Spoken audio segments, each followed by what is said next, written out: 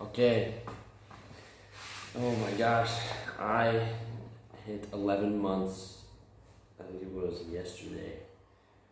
So I've officially been on my mission for almost a year, 11 months now. It's pretty crazy to think about that and how far I've come, how much I've learned, and just the time. It's really weird.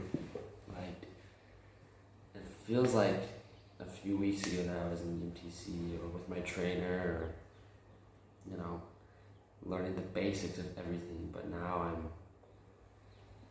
almost a year in. It's pretty crazy. So, things here in Senchi have gone well so far. I'm not sick anymore, thank goodness. And we've been able to have a lot of really good lessons. Lately, we've been focusing on our recent converts. We have like almost 30 within the last year, which is crazy. And what we're doing is we have these books that kind of talk and teach about families and temples, about like family history and how you can prepare to go to the temple. So we've been teaching almost all of them about that and preparing them to go to the temple to receive, you know, they can do their baptisms for the dead, for their ancestors, to learn about more ordinances that can be done inside the temple. So we're doing that a lot and having a lot of lessons just with the Book of Mormon. We're simply just reading a chapter from the Book of Mormon with them. And some of my favorite lessons. Just because they learn something, they ask questions, and then we're all edified and we learn something too. Which I really like. And this past Sunday we had two baptisms um, on the same day.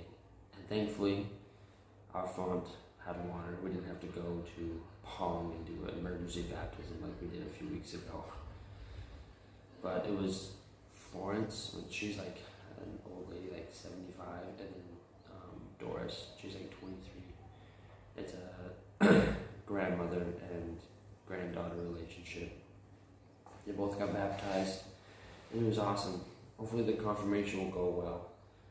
But we had the HXP group with us at our branch when that baptism was happening, which was really fun. That group is the same group that my dad and my sister did a few weeks ago.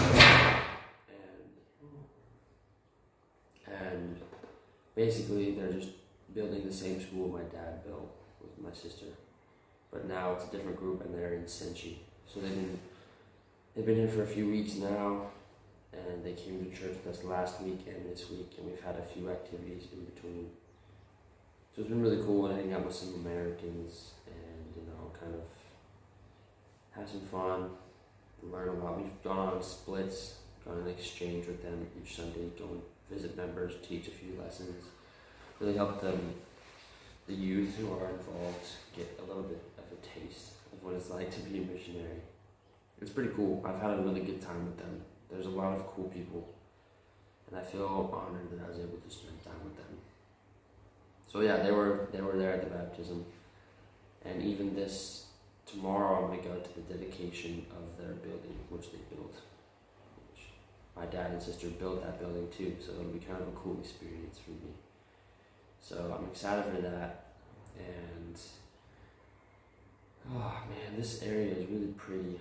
There's a lot of cool things lots of pretty views. I get to go up in the mountains all the time, down by the river, to the lake, and it's really cool. It's definitely a lot more fruitful and eventful than Hohoe. Hohoe was a tough place for a long time, but this place is going well. I really enjoy my time here. And my companion, me, and him are super tight. We are really similar and I really love him. So things are looking good here. And lately, I've been studying a little bit out of the New Testament because July 31st, I finished the Book of Mormon again. So that's my second time ever reading it. Finished it, it's amazing, loved it. I learned so much. I highlighted a bunch this time reading it, and now I'm kind of reading the New Testament. I'm still in like Matthew chapter 15, I think, but I've never read the New Testament before. I've, I've read sections of it for studying groups or church or something, but I've never read the whole thing. So I'm gonna try and read some of it and try and learn a little bit more about the parables Jesus Christ gives, more about the character of Christ, the apostles, learn more about the original church that was founded when Christ was on the earth. So I'm really excited about that. I've already learned a lot more about how Jesus Christ's parables can really affect us and how they can influence how we live. So that's what I've been studying lately, and it's really cool. I really love especially in Matthew chapter 5, 6, and 7, how it's comparable to 3 Nephi, chapter 12, 13, and 14, I believe. It's awesome how they're so similar and how they kind of work together. It's, it's cool. So, yeah, I think that's about it as of right now. My parents are on a, they got back from um, Ghana a couple weeks ago, and now they're going to Mexico. They're actually driving to Mexico probably right now.